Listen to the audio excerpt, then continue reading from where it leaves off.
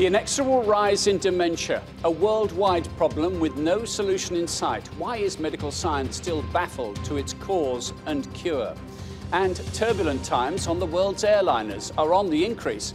Why are those unexpected bumps mid flight so unpredictable? And are we right to be scared by them? I'm Martin Stanford. This is Insight.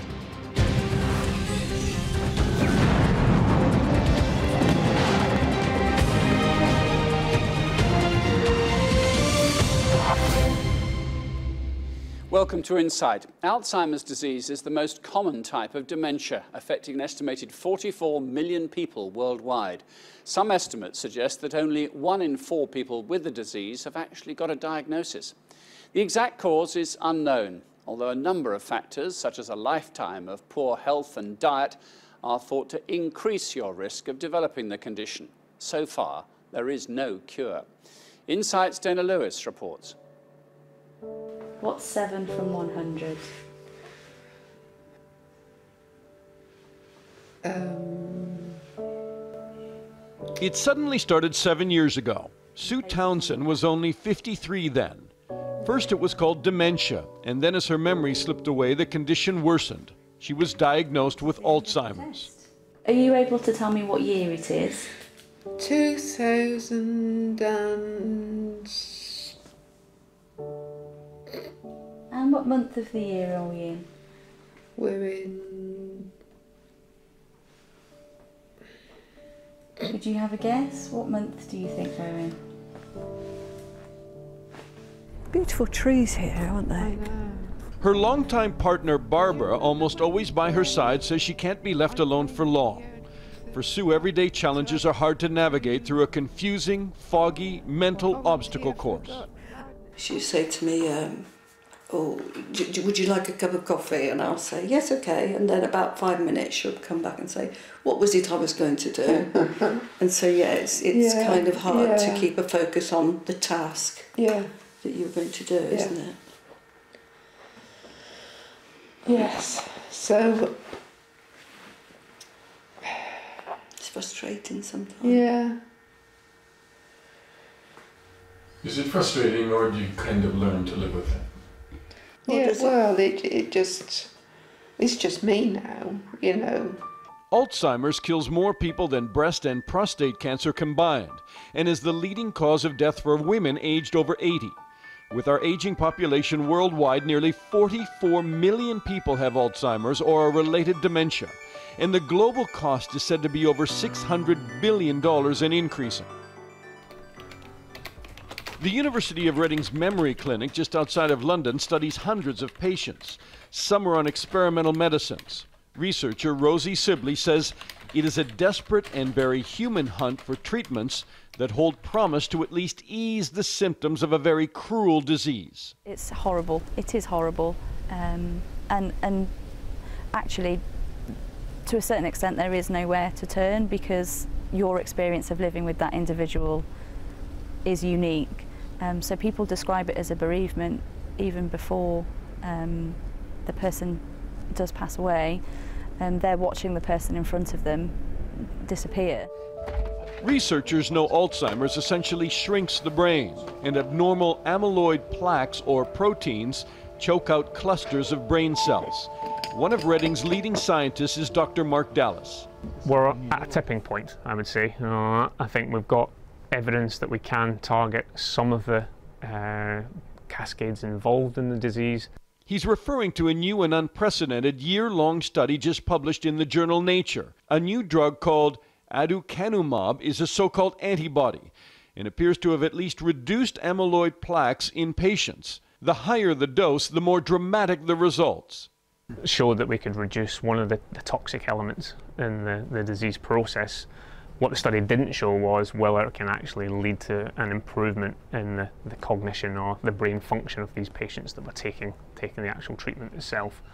Researchers around the world, including here at Reading University, believe that they're about to turn the corner on an earlier diagnosis and then eventually the treatment for Alzheimer's. The need is great. Right now, one in three people over the age of 65 develop dementia, and the vast majority of those go on and get full Alzheimer's disease. While new research into slowing the disease is promising, that doesn't mean removing the plaques restores brain function. So Dr. Dallas's research into finding earlier diagnosis of Alzheimer's becomes all the more critical. I know you hate the word cure, but if you if you were to look 10 or 20 years ahead, uh, do you think we're at least that far out for a really effective treatment? Uh, I think 20 years is more realistic. You know, I'd like to think in 10 years' time we're certainly getting new drugs into the pipeline and targeting new avenues, and I think that's something that's exciting in the scientific community. I think it will be a combination of treatments that will eventually combat Alzheimer's disease. I don't think it's going to be one magic bullet or one magic pill. So simple things like eating right and staying active is a natural form of treatment. Sue still tries to do that and says she's always been a joker and sometimes uses it to cover her gaps in memory. Can I ask you to spell the word world for me? W O R L D. And could you spell that backwards for me? Ah. Very good. Could you spell the word backwards for me? That's okay. I'm a very jovial person, and I can, I can, I can put a joke into anything. But this is this is sort of important, isn't it? It's okay. As her condition worsens, even that good sense of humor is fading. I'm Dana Lewis, reporting for Insight. Well, to discuss this further, I'm joined by Nahid Mukadam, who is a clinical fellow at University College in London. It's discussing dementia that we're going to have a conversation about it now that we kind of need to do more about, don't we? Yeah, Not just with the elderly, but with the next generation down. No, definitely. Um, you know, dementia is a, a growing problem worldwide. It affects 7% of people over the age of 65, and the risk increases with age. And worldwide, as you said, there's about 47 million people worldwide in 2015 who are suffering from dementia, and that figure is predicted to be increased to 66 million by 2030 and 115 million by 2015. So 2050. So it's a, it's a growing problem. And the frustration for medical scientists is that it's underreported. Is it people feel that they're reluctant to ask the doctor, why am I getting a little forgetful? Absolutely. So there is still this perception that um, memory problems are just a part of normal aging, and why go to your doctor about something that's just normal? Uh, but we would, you know, counteract that and say that actually, the earlier you get help, the more you can, the more benefits you could reap. Um, memory problems can be caused by a lot of different things, vitamin deficiencies, depression. So it's important that you see your doctor early and rule out other causes. And if it is dementia, there's a lot that you can do to treat it, especially if it's picked up early. Is there? Because there's a perception that it's incurable.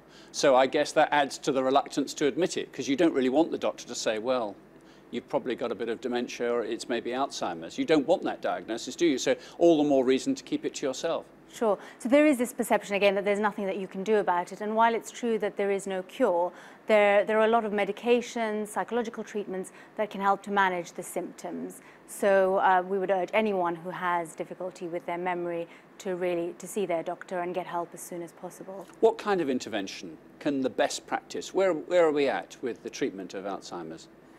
So I think first of all would be ruling out physical causes, as I've just mentioned, or depression, because those are you know, highly treatable. If it is confirmed as Alzheimer's, then there are medications that can help to slow down the progression. The, the ones we usually use are things like Aricept or cholinesterase inhibitors, mm. which slow down the, the progression of the illness.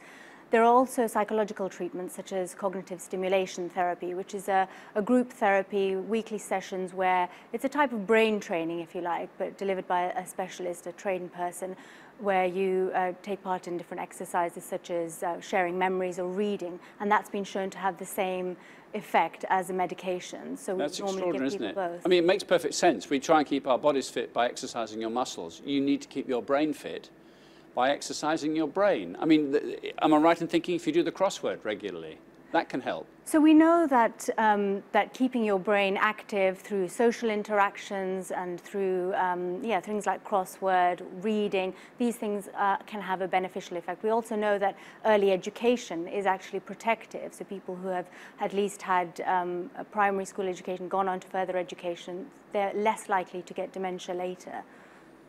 is there an incidence um, scale through stratas of society? Does it, for instance, if you're fairly well off, if you're affluent, if you are achieve better standards of education, are you less likely to get Alzheimer's or does it affect everyone equally?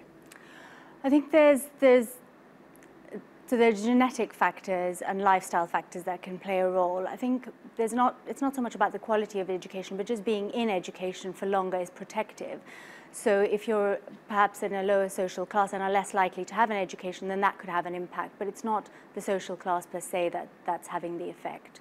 So one thing you can definitely do is as you approach um, what 60s or 70s, trouble is the whole population globally is, is on average getting older, isn't it? We are Absolutely, living longer. yeah. Um, so here's a challenge for all of us, I suppose, both within deciding what to do for ourselves and within our families and so on.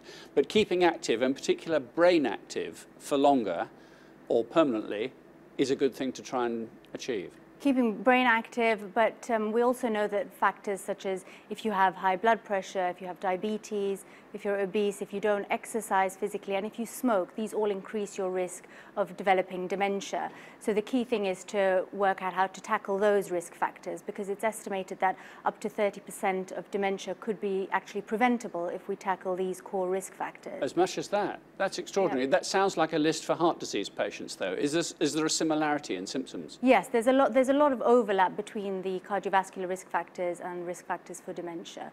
So if you keep your heart healthy and keep your brain healthy, you're doing your best to fight a genetic pattern. But look, if your mum or dad suffered from dementia, are you most likely to suffer from it too? You're more likely to suffer from it, but it's not inevitable. So we think that actually there's a lot of uh, a lot you can do about these modifiable risk factors, and there's a growing interest in that to see how how much impact and at what stage of your life you should be targeting them in order to prevent uh, developing dementia. Because even if we can delay the onset of dementia by five years, that could halve the prevalence of dementia worldwide, which would be a massive impact. And there is collaboration worldwide. I mean, our medical companies not fighting each other over this. There is actually a consensus. Let's try and find better science, better cure. Absolutely. There's research going on all the time into uh, preventable, into modifiable risk factors, as well as into the underlying mechanisms of the disease, and that's that's ongoing. And international collaborations are definitely en- encouraged and, and going on. That's an encouraging note on which to finish our conversation. Naheed Mukadam, thank you very much. Thank you very much. This is Insight. Coming up after the break, air turbulence. A scientist here in the UK predicts we'll be seeing a lot more turbulence in years to come. But how much impact will this have on the way we travel?